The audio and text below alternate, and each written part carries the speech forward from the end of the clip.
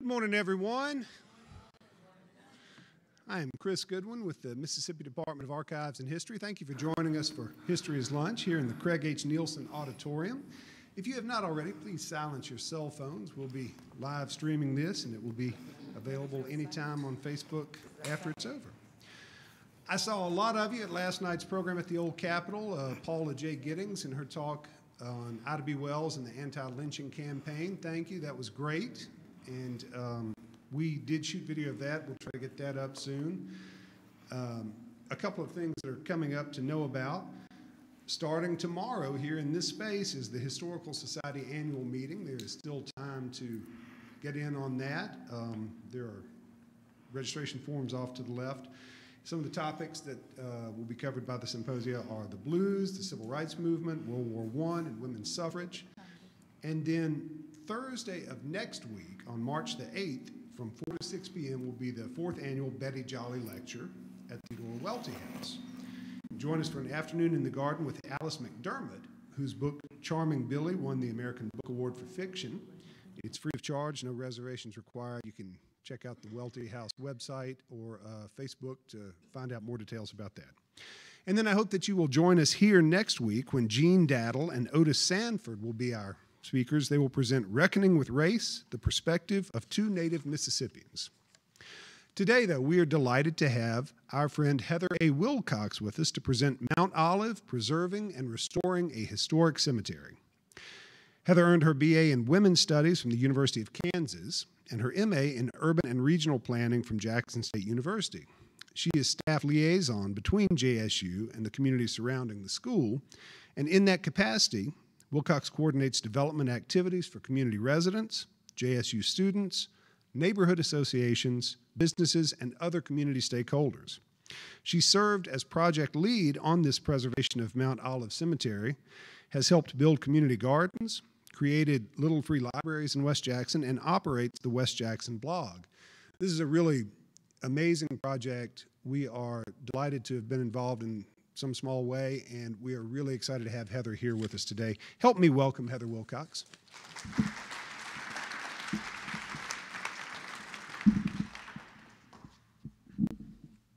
Good afternoon, everyone. Ooh. Hello, hello. Oh, sorry. Okay. Um, well, thank you so much for coming out today. I am excited to be here and uh, present the project of Mount Olive Cemetery. Um, it's been a three year project thus far, and um, I'm just really thrilled to work for Jackson State University, who supports this project, and um, everyone that's here today. It's really, really meaningful. So I'm going to get right into the presentation. Um, I know normally we wait till questions at the end, but I have slides, so I can't get off track. So if you have questions throughout the presentation, I would encourage you to ask them then, and then there will be time for questions at the end as well. So, Mount Olive Cemetery is located on um, John R. Lynch Street, and this is Jackson State University's main campus here. This is Dalton Street, and this is actually the cemetery site. It's four acres, and um, it is on the main thoroughfare into Jackson State University. This is the College of Business, and this is the College of Liberal Arts, and this is the Gibbs Green Plaza. So this is currently what Mount Olive Cemetery looks like. Um, it has a brick fence in the front here on Lynch Street, and then this street um, it is open um, to the public, and this is the only sign on um, the cemetery which details Mount Olive Cemetery. And so when I first came to Jackson State about 10 years ago, I would walk past the cemetery and just wonder and ponder about what the meaning and who was buried there. And so um, through the university, we approached um, Archives and History, Mississippi Department of Archives and History, and we set out to do three things for the cemetery. We wanted to write the nomination packet to get it listed on the National Register of Historic Places. We also wanted to research and document who was buried in the cemetery. And there are two beautiful statues in the cemetery of Jim Hill and Ida Revels Redmond, and we wanted to preserve those um, statues. So, just to give you a historical context, this is Jackson State University in the early 1900s. This is Ayer Hall that is still here, and these are buildings, Barrett Hall, that are no longer in existence.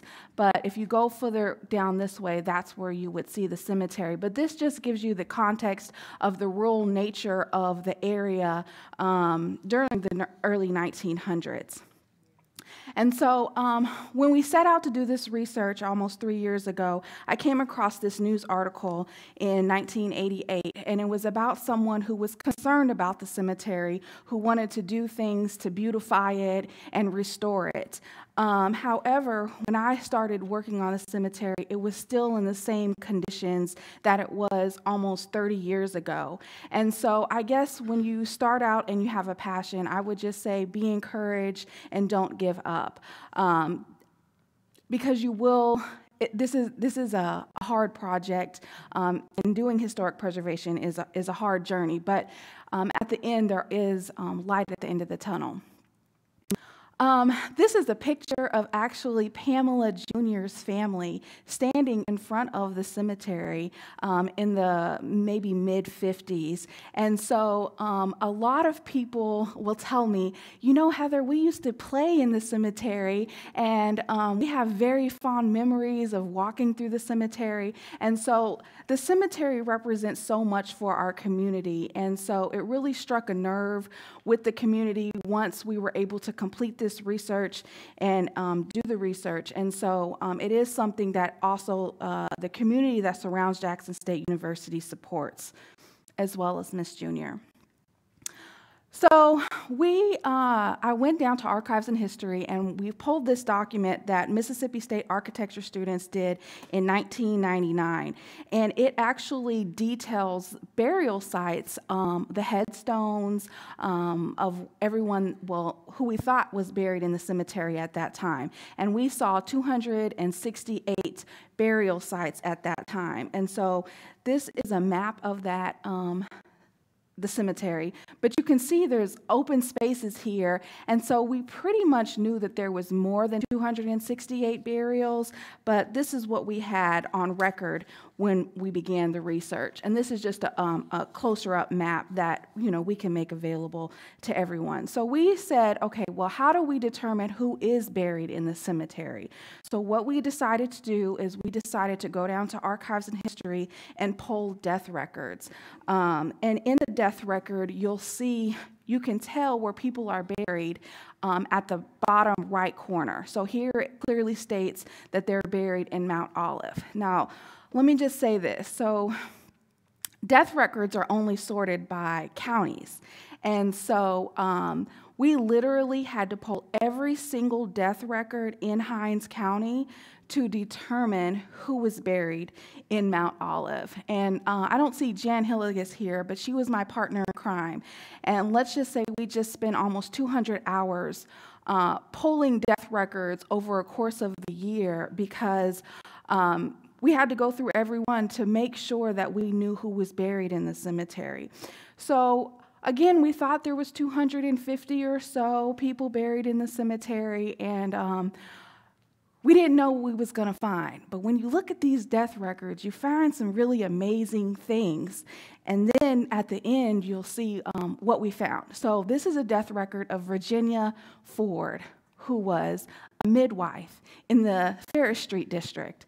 Um, you can tell their date of birth, if they had a date of birth, how old they were, what their color classification was, what they died of, and their family genealogy their father, their mother, um, who the informant was, where they lived.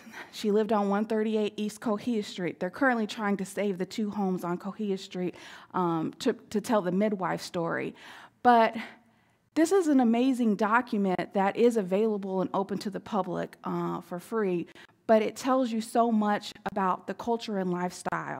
And so, what we did one, you know, after 200 hours, we um, we had a database, and we originally thought it was 250 so, or so, but when we were done, we had names over 1,500 names of people buried in Mount Olive Cemetery.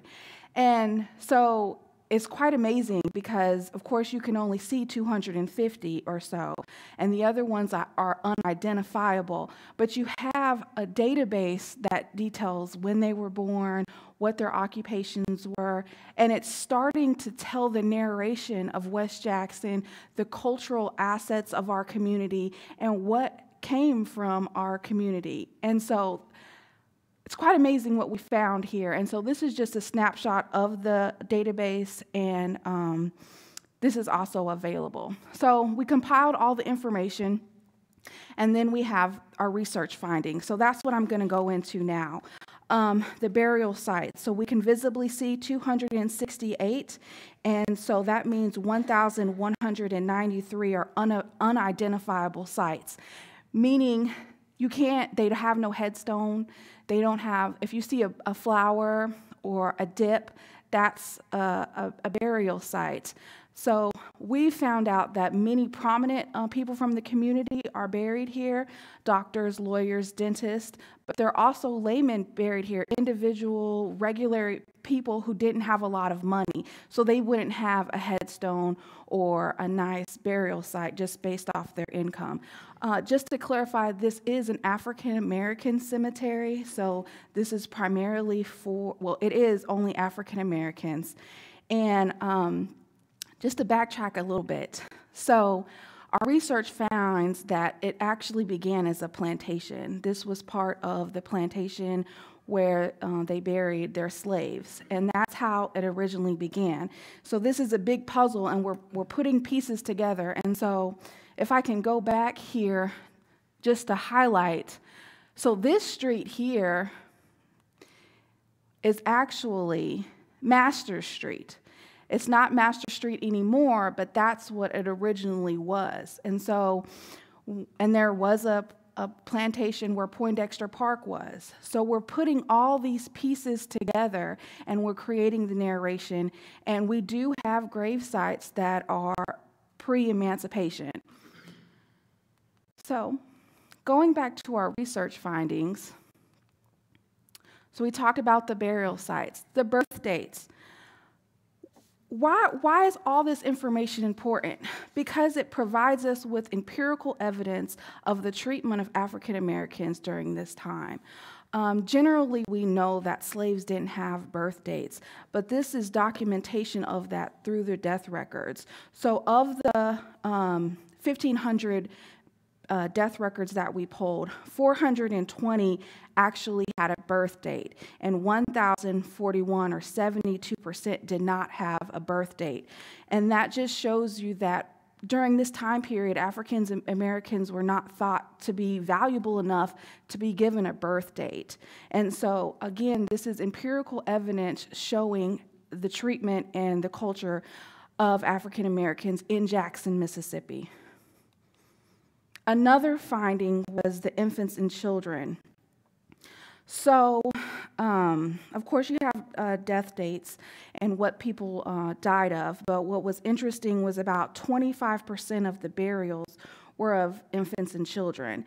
And they did die of diseases of the time, such as cholera and measles and teething, but majority of the children, infants, um, were died because they didn't have access to a doctor. They were stillborn. And um, so, so, again, this is why you can't necessarily see their graves. I would imagine, um, you know, it was, it was a difficult time back then, and, um, but they are buried in the cemetery, and these are the findings that we're um, gathering.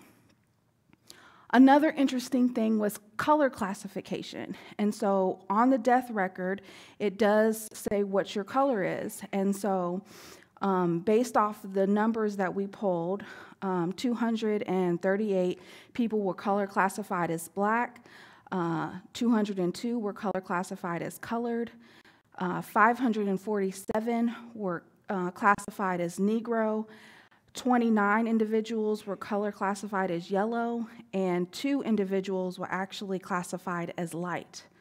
Yes, Joan? There, there can be that extrapolation.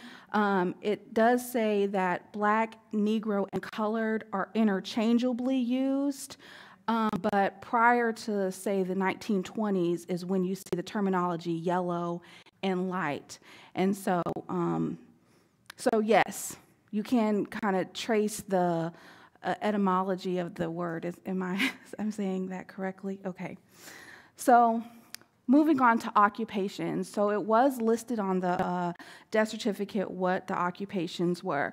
Now this is Virginia Ford, the, the lady, the midwife of Farish Street.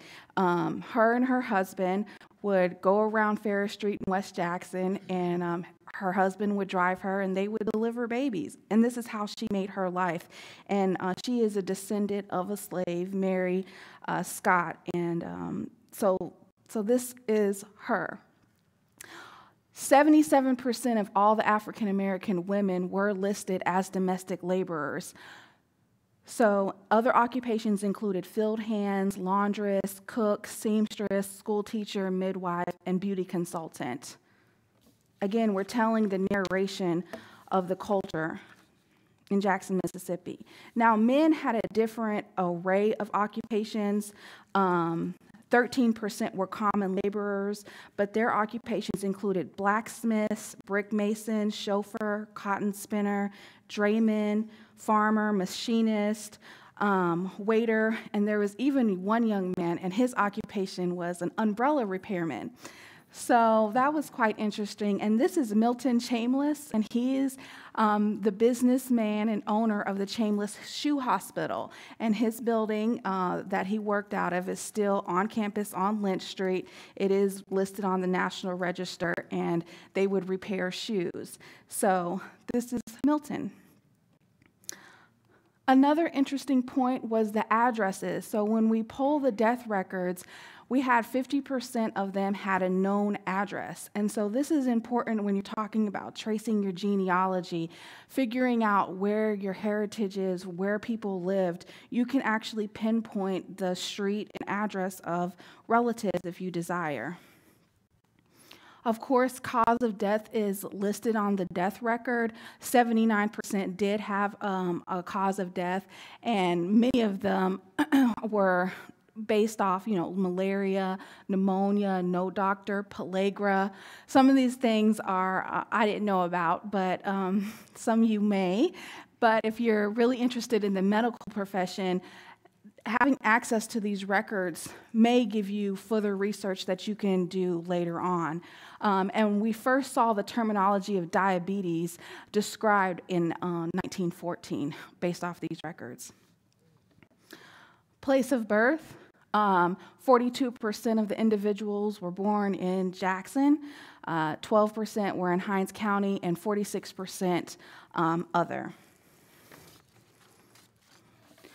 Again, why is all this important? Well, this is the um, historical population map of the city of Jackson, uh, starting in 1850, going all the way up to 1940. But say we take 1890.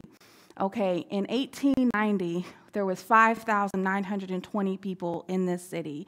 You divide that by race, and you can see that if you are from the city of Jackson, you probably have relatives buried in Mount Olive Cemetery. You just don't know.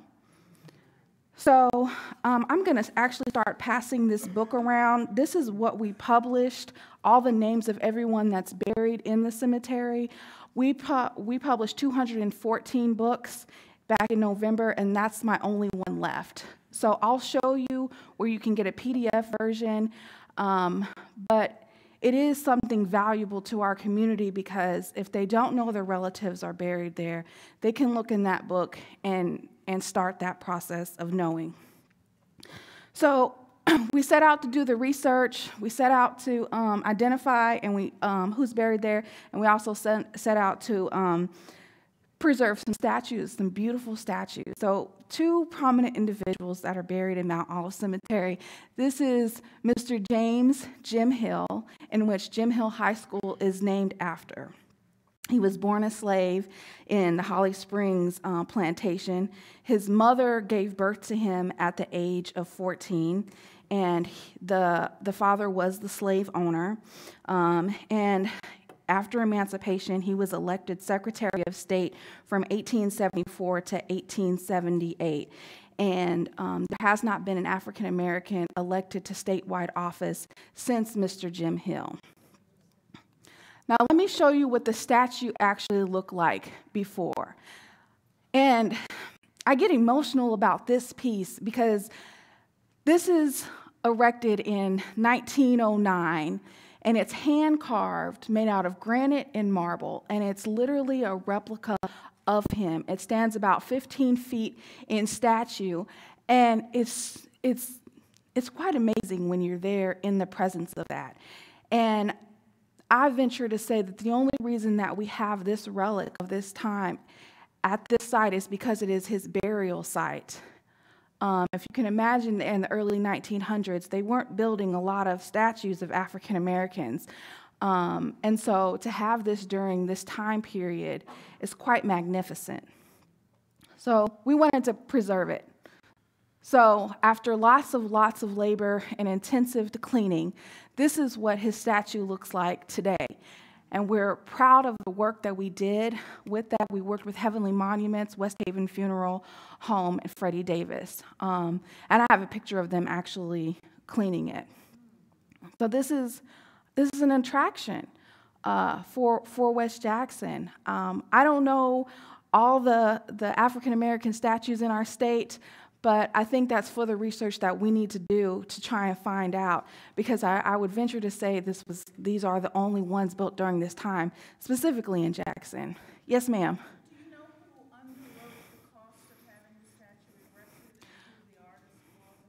We don't know who the artist was, but Jim Hill was a Mason, and the Masonic Temple is right across the street. Many of the burials are of Masons and Eastern Stars, and I would say that that had a big role in the erection of this marble and granite statue, but also um, just the, the clout that they had, and, and it wasn't damaged.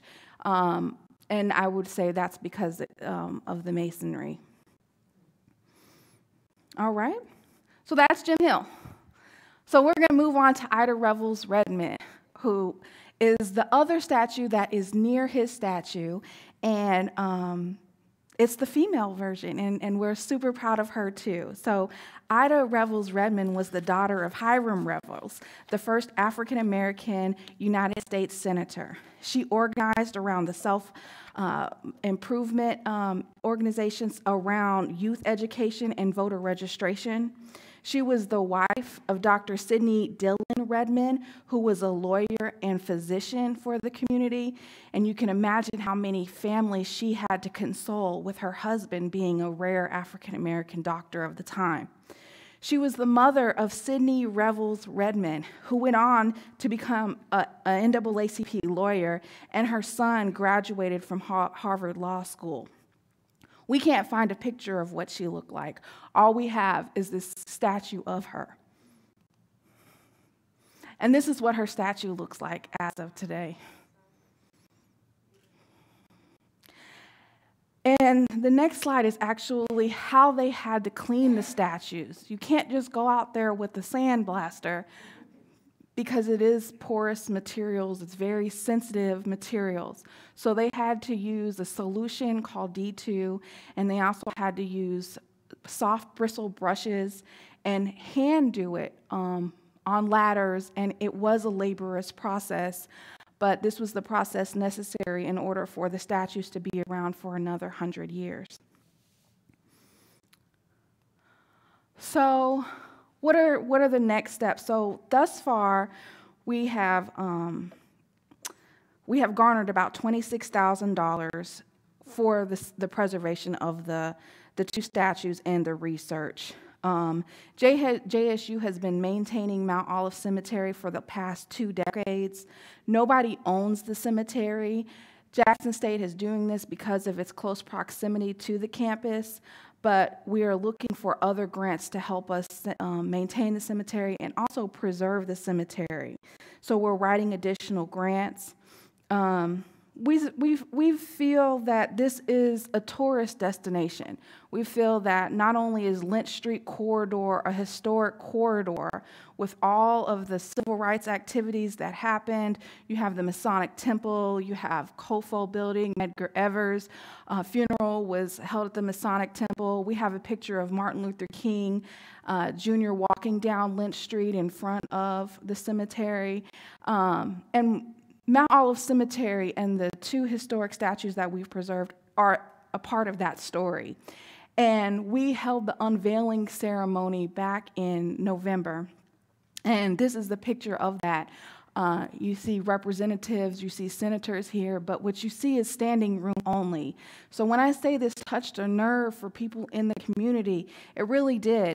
That day, uh, there wasn't a dry eye in the room because of the information that was garnered through the research and the booklet that was presented. In June of 2017, Mount Olive was listed on the National Register of Historic Places, which means it's worthy of preservation.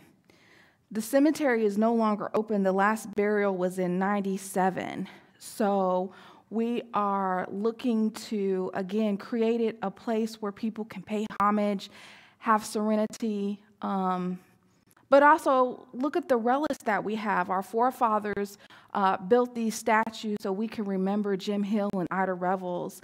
And when you think about the national context of the Confederate monuments and what's happening across our nation, we don't know what's going to happen here in Mississippi. What we know is that we have these beautiful hand carved statues of individuals of our community that we need to celebrate and visit and go just like if you would go to Martin Luther King or Coretta Scott King's burial site. We want people to come here and visit and, and learn that history, not just people, but our students too. So, um, this is from the day, um, this is the Grand Master of Masonic Temple, Morris Lucas Sr., um, and this is actually a picture of Jim Hill that Jim Hill High School student did. We also brought in Jim Hill as a participant in this project. This is Jim Hill's choir. They sung during the program, and, and they're an amazing, amazing choir.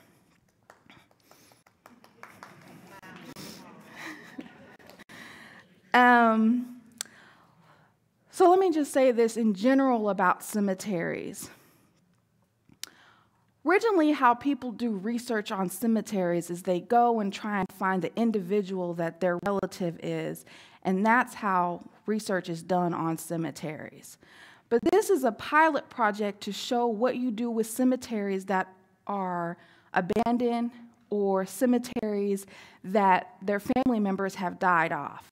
It's not a one person story, it's the collection of stories and information that you can gather that creates this space that builds upon just the individual's um, relative. And as we look forward, you know, the next 50 to 100 years, when we look at other cemeteries, that is how we have to look at preserving them and telling the story, not on an individual level, but on a collective narration um, telling the story that way.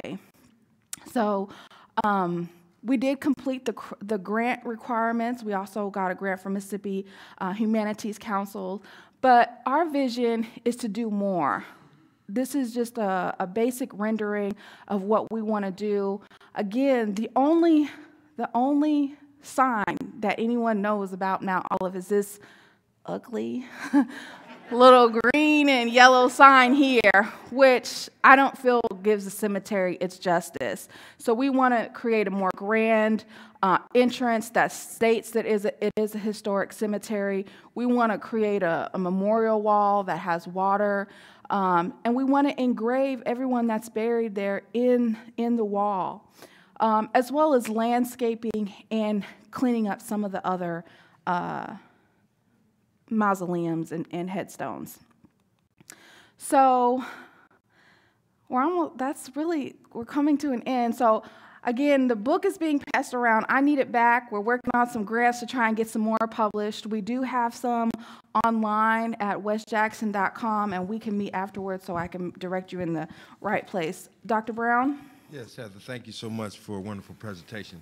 Um, I wondered what was the research methodology that was used by Mississippi State to identify the the the bodies that were there, and then what methodologies would you use to identify the bodies that you have the records for?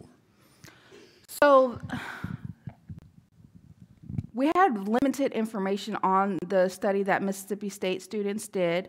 Um, we believe that they went into the cemetery and documented all the headstones that they could visibly see and what they were. Uh, about 20 years ago, when the study was done, the cemetery wasn't in as bad shape as it is now in terms of the headstones being broken.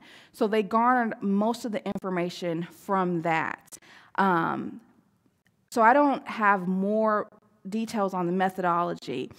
I know there is technology that can actually go out and go into the ground and identify where the bodies are exactly, but placing them with a name of who is actually there, I don't know if that's even possible.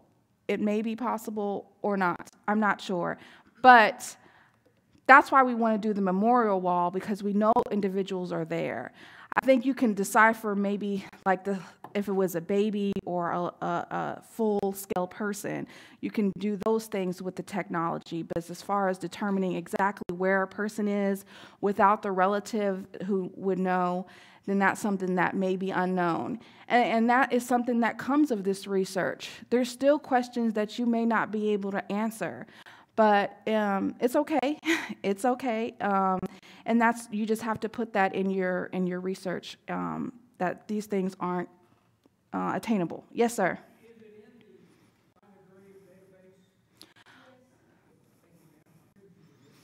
Yes, so so Natalie works uh, with Find a Grave, and so some of the research is in Find Find the Grave, but a lot of it is not.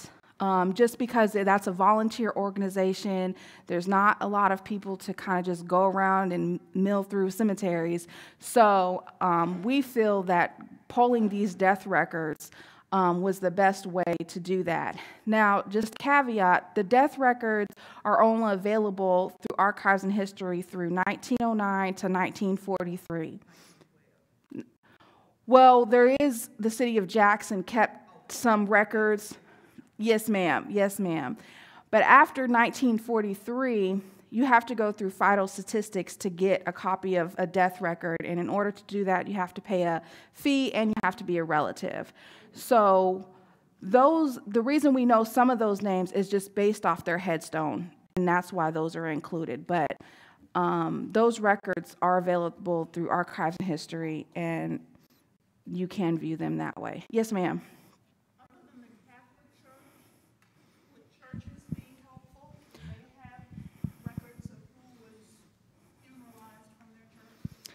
So yes, and actually there was two churches located on Lynch Street. Lynch Street Church and Pearl Street Church were both located on Lynch Street, and they actually maintained the cemetery at one period. The women would gather on Saturdays and cook a big meal, and the men would go out and clean up and, and, and uh, cut the grass and, and do things like that. Um, but as time went on, the churches moved to different locations based off their congregation growing, and those churches, churches no longer exist. Um, and the buildings no longer exist. So that's how Jackson State became involved and started maintaining. But yes, churches and funeral homes are also good places to get your research.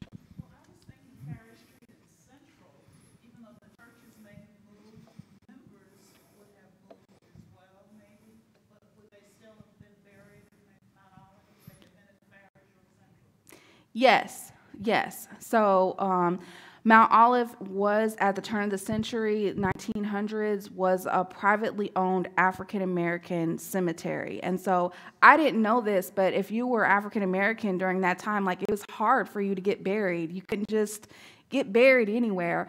So, um, yes, we do have individuals who, uh, Walter Farish, who Farish Street is named after, is buried in Mount Olive Cemetery. So, um, yes, I will give the caveat though that um, record keeping and even the death records were written in, in cursive handwriting, and so it made it sometimes makes it hard to decipher and it's not like technology now where you can just type something in and it's it's pretty and le- le- eligible to read. So those are some some hiccups when you go to do some of this research. Sir, in the front. From the death records, has there been any, from the death records, has there been any, any um, attempt to classify, to find out how many private cemeteries there are in uh, Hinds County? Because they, that Well- should, when it, when it says where they're buried, that, that would, one might expect to find something like that there. I, I think more research is needed. Um, at this point, the only two cemeteries that's on the National Register of Historic Places is Greenwood and now Mount Olive. So, of course, there's many cemeteries in our city and Hinds County, so I would, yes. Okay. Ma'am, here? So it's in the William Winters building, and of course, circulation will help you kind of obtain them. It's just a general good idea to have a, a year range of when you think your relative died because they're sorted by county and by year. And so that'll help you kind of get into it, and it's on a microfiche, so um, it's like 10 cents to print from there. Ma'am?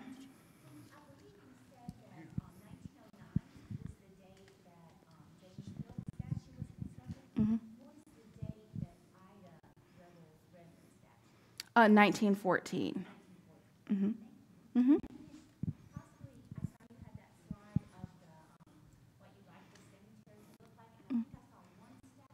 Mm-hmm. So, um, the statues are really, it, it- it's less close to here. They're really right here. There's one right here and one right here. So they're right next to each other and they're facing east. And all the burials are facing east, to my knowledge. Ma'am? What's the street address for the cemetery? Well, it's in the 900 block of John R. Lynch Street. Yes, ma'am. Um, Hooker is further down uh, towards the um, uh, fire station. So it's further down um, Lynch Street. Trying to get there. Mm-hmm.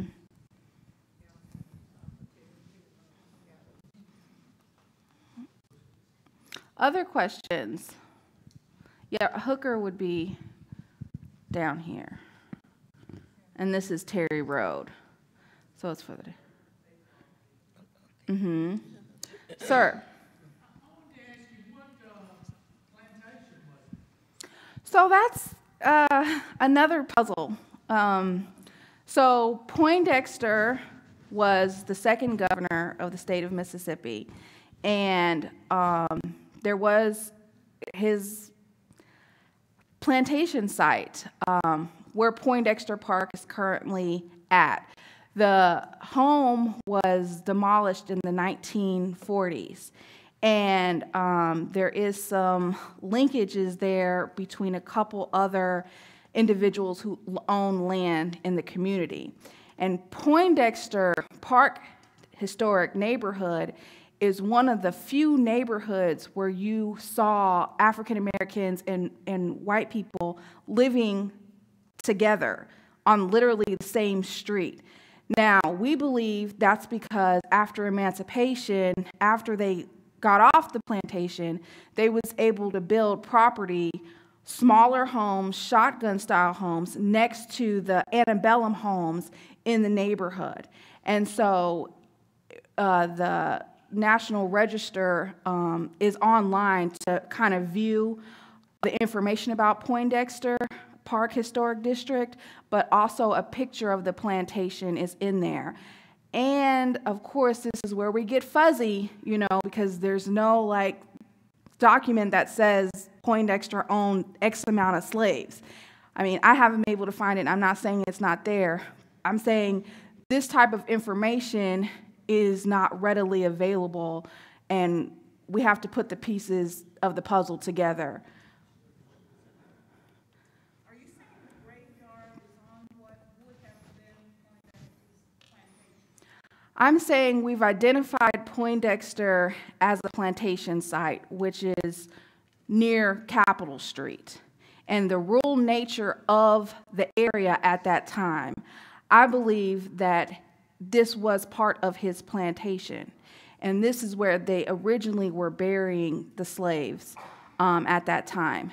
But I can't definitively say that based off any information I've found, but that's what I believe, sir.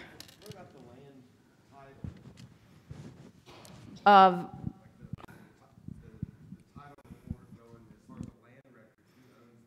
Yes. So um, his last name was Sharkey, who was affiliated with Poindexter.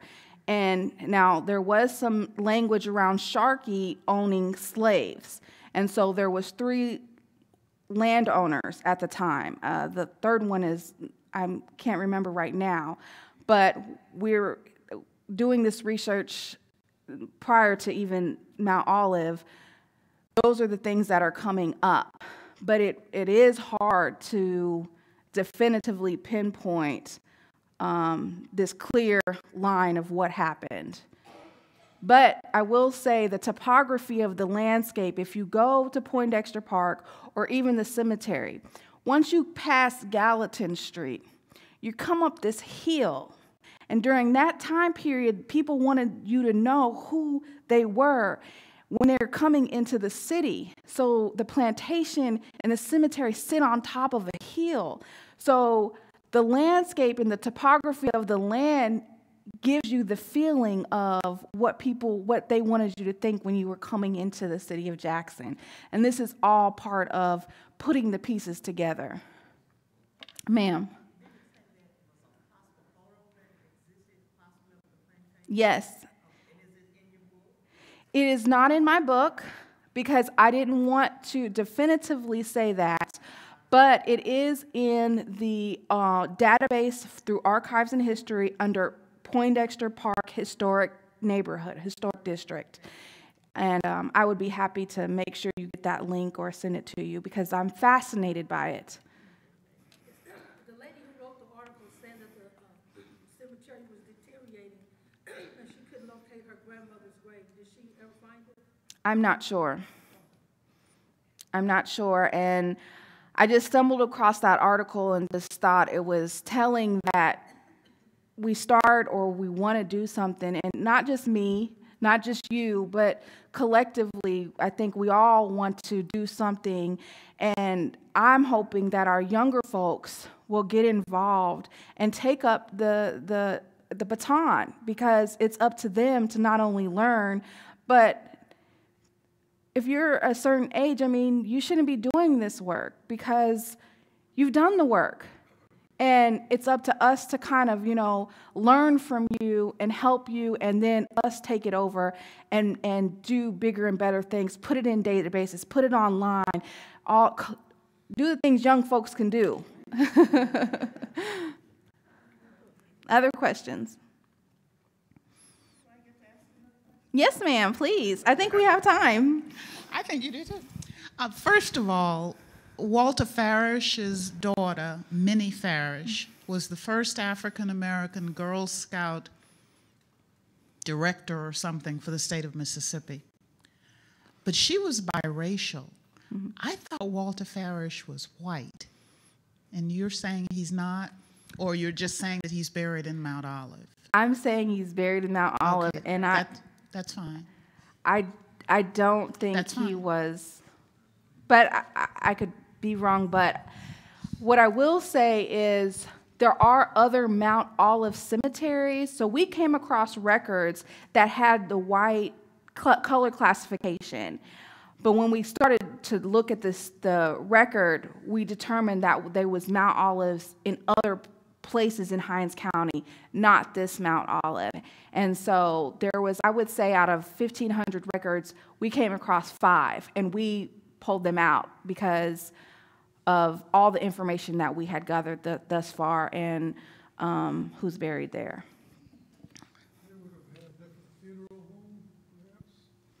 Yes, there were several funeral homes burying Collins, um, Peoples, um, all of those um, funeral homes were burying in this cemetery.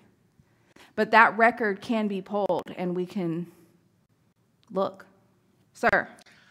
That was one of my questions, and you've just touched on that. Uh, Are you, your confidence level, uh, when it says Mount Olive, that that's this cemetery? That seems like that would be a common name for cemeteries. The, the other thing is, we had a presentation here at History's Lunch uh, a while back on Greenwood Cemetery, where they did the ground penetrating radar, I guess that's the right term, and, uh, and were able to locate where many grave sites were uh, in there, and that would be, I, I, I don't know what the cost involved, but that would be very interesting to see if that approaches your thousand-plus figure, or could be even more, because your uh, death certificate information, there may be a lot of early burials that predate your death certificate information. Absolutely. And we, we do think there probably are more, um, just based off what you said and our research. So if there are no other questions, I want to thank, oh, another question. Yes, ma'am. You spoke of the last person to be buried in the Mount Olive Cemetery was in 97. Yes, ma'am. Uh, Are you at liberty to say who that was? Um, her, her first name was Barbara. I can't think of her last name at this point, but it is in the book. Um, it's in the book. So we do have that. Any other questions? The book is going to be found online at. Oh, it's right, right here. No, the book is available online for free. Just go to the westjxn.com website, and I have cards I'll pass out. The website's on there, and you just type in research book, and it'll be um, available there. We are looking to write some other grants through Archives and History to print additional books. Um, because they are a pretty hot commodity and they cost about $10 per book to print. So um, I do want to thank uh, Mississippi Department of Archives and History who supported this project, the Mississippi Humanities Council, as well as the City of Jackson and all of my we- West Jackson community folks because being here and giving me that daily support and, and encouragement is very beneficial and um, they've been helpful through this process. Thank you all for coming today. This is really the sort of project that I love to hear about and to have highlighted at History is Lunch. It's a great local project that you can really dig into, and as Heather has demonstrated, they have done that with hundreds of hours of research. But also, there's so much more that can be done. So I look forward to hearing updates as we move forward with it. Thank you all for coming. I hope we see you next week. Help me thank Heather Wilcox again.